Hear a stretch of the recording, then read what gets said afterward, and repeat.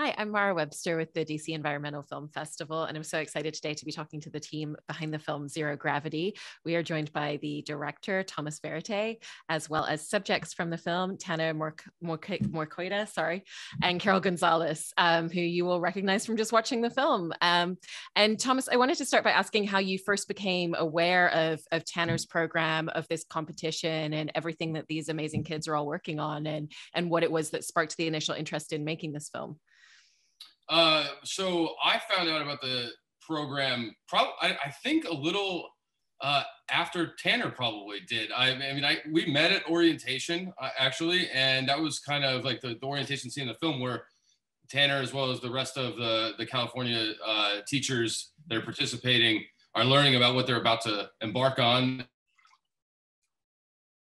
And space and their faces are of, of you know sort of like disbelief about what they're gonna kind of tried to accomplish was probably what mine looked like behind the camera. A little bit, I was doing a lot of learning uh, during that time. Exactly, like I was, I was picking it up a little bit because it was, it was. I sort of discovered the program and was like, let's go shoot and see if we can make something out of it. And then the orientation kind of fulfilled and explained a lot. That it was like, okay, let's go, let's do this. And I met Tanner there, and um, I loved how he uh, talked about just uh, space in general. I have the same kind of passion for uh, the cosmos and our place in it, and and um, and he had mentioned his grandfather as well, um, and that that like and it was something that that he had like been that passion had been passed down to him, and and that was a it was something that I just never forgot, and that um, really gave me the confidence to just let's let's see where Tanner takes his students and and uh, and so everybody kind of came from that.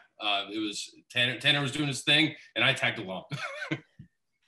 I love that. And it's it's really interesting to hear, Tanner, that it wasn't actually that long after you started working in this program that Thomas kind of heard about it and that collaboration came about. So especially kind of going through all of this for the first time, what were those first conversations with Thomas? Because there's a lot of logistical elements behind the scenes as well. And I imagine a lot of it was you also talking to, you know, students like Carol and a lot of the parents who are in the film as well and, and, and explaining what that's going to be. We're going to have a camera crew in the room with us. They're going to be following this whole thing. Um, and so what did a lot of that that conversation look like between the two of you?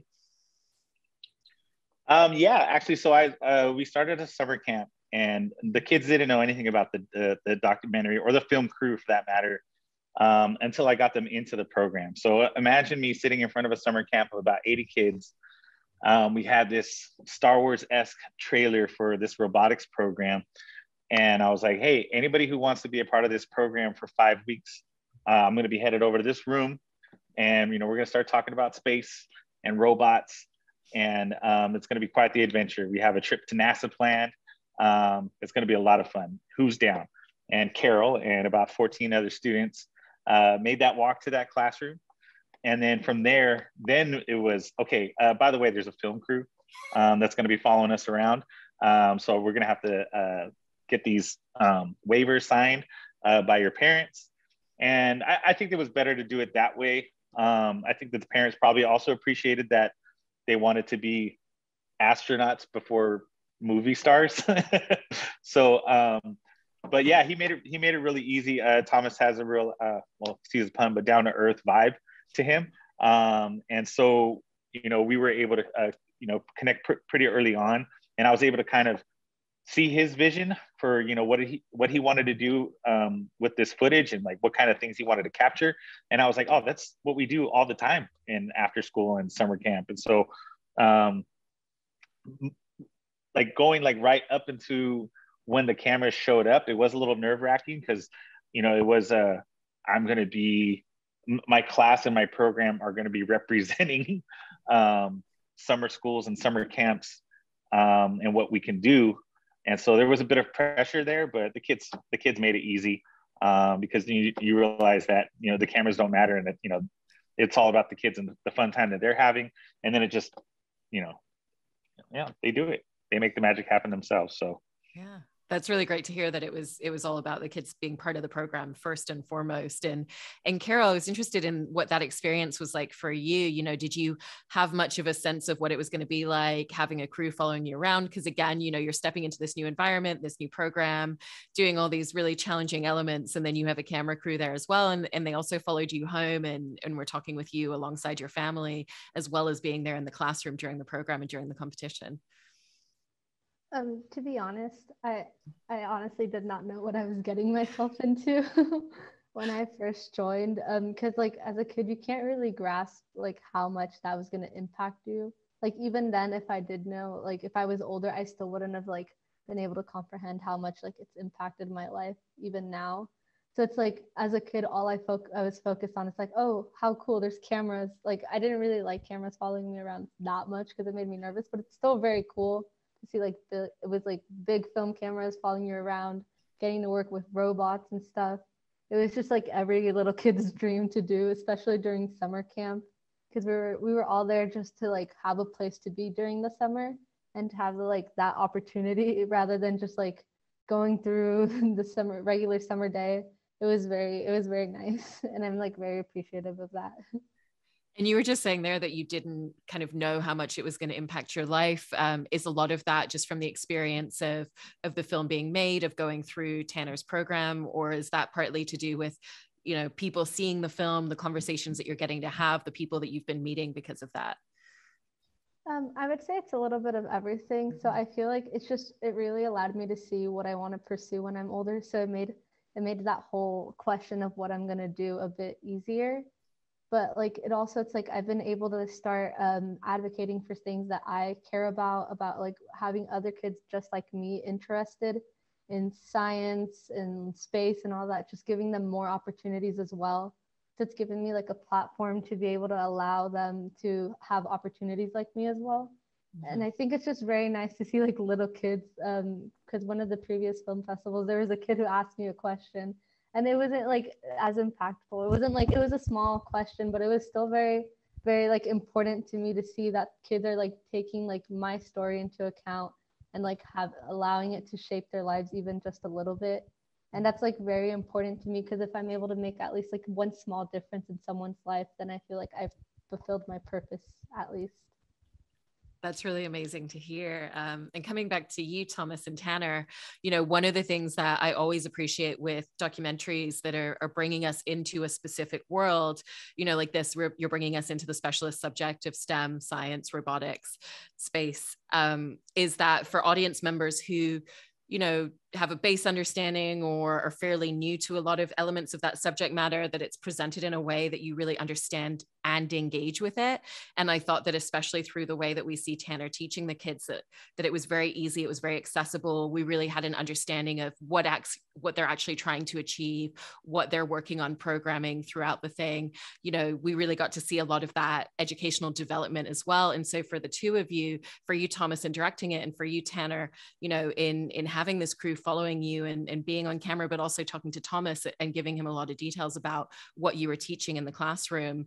Um, how did you want to set about making sure that this film felt very accessible to audiences, could really bring them into this world and engage them in the same way that in the program you're engaging all of the kids in the room?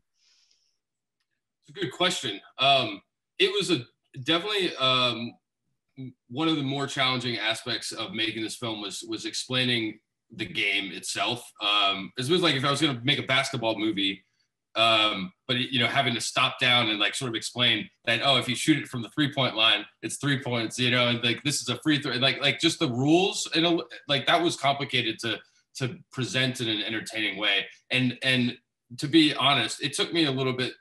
It took me a lot. It took me a lot longer than them. Uh, to you know, I think the kids like they were they were ahead of me most of the time.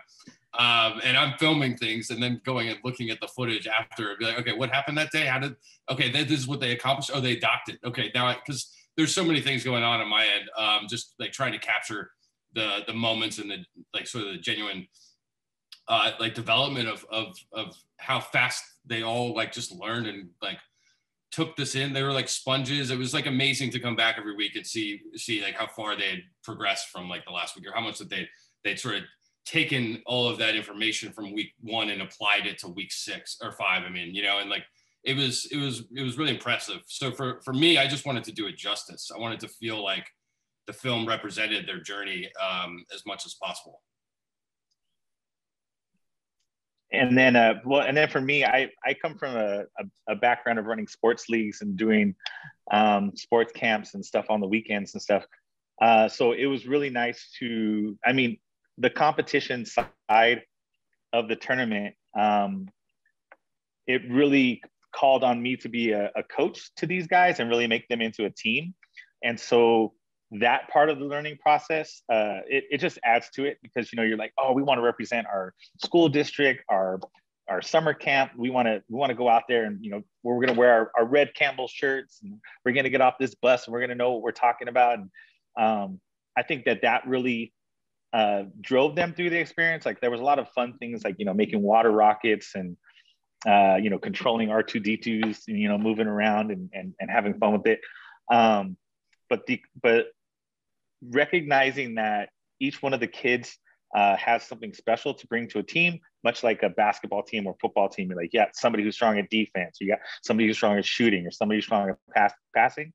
Um, these kids, uh, there's a few of them um, that had these like leadership skills, and so I actually kind of made them the, our our captains of smaller teams, and so that's how they were able to compete against each other, and that did really drive their learning um, because they were like, oh, we're gonna we're, we're gonna have this strategy. Man, it's, it's like five years since we did this, but it was like, oh, we're gonna have this strategy. It's called the campfire strategy, where we're gonna go get this the large item, then we're gonna take it back. We're gonna camp and we're gonna have s'mores. So that's gonna be our camp strategy. And then this other team was like, we're just gonna get the big ones. We're just gonna go go all out. We're gonna get the big, the, you know, the big items.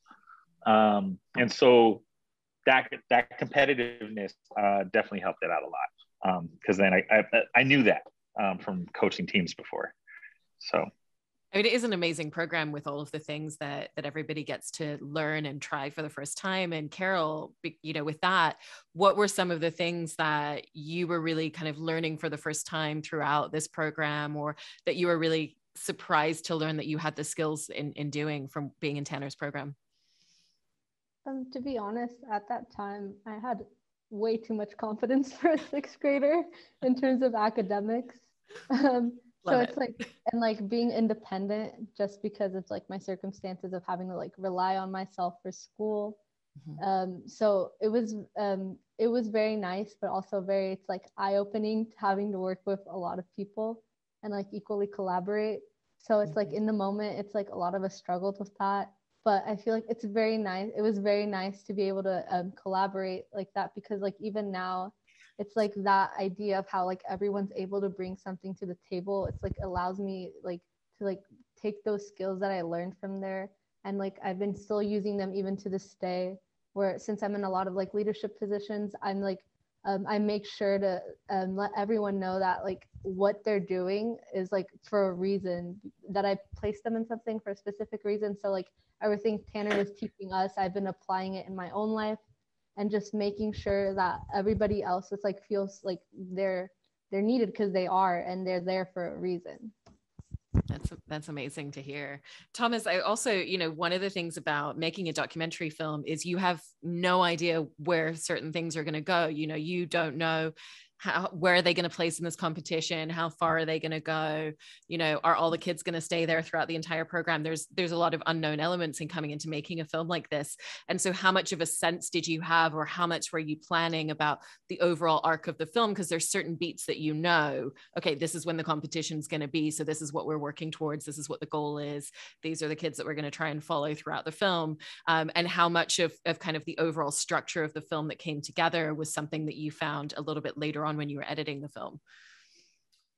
Um, so, well, because of the tournament itself, that gave us, a, um, you know, sort of a foundation, a spine to follow. Um, that, and I always knew that that would be kind of, you know, we'd always know that this week was going to be the results week, and and then there's the finals this week, and you know, we're gonna like there's a NASA trip like at this one point, but like what would happen, and of course, as a documentary, it's, it's unfolding in front of you, and um, and I think I only tried to get them to do something like again once or twice, and it never really worked out because they were kids. And so they'd like, you know, the moment that you're like, hey, can you walk around that corner again or something? Then they start jumping around and w- being aware that the camera's around. So, uh, so I realized very quickly that I only had one shot all the time, um, and that was uh, for me just um, that was part of the challenge and fun on my side. Just always trying to be in the right place at the right time uh, before anybody else knew that like what was going to happen and sort of kind of guessing. But as far as where they went in as, as a class, um, you know, I sort of hoped that that uh, that they would be engaged enough, even if they lost, to want to go to the finals. And and you know, that was something that I um, I I just you know, when I met Tanner, it was a, it was sort of like I was trusting my gut a little bit. I kind of felt that, um, you know, there's subjects that I remember as a kid not being that interested in, but if the if the um, educator uh, was excited and passionate, then I would all of a sudden perk up. And so that and Tanner made me feel that way immediately. So to me, I was like, well, if he can get his kids engaged, then they'll they'll stick it through. And that that was a little bit of, of faith um, because of course you know, they could have decided not to go to the finals after um, after losing, and uh, you know, in the in the regional competition, and not collaborate at all with the other team that won. And like, you know, it, the movie could have just died then, but it's it's to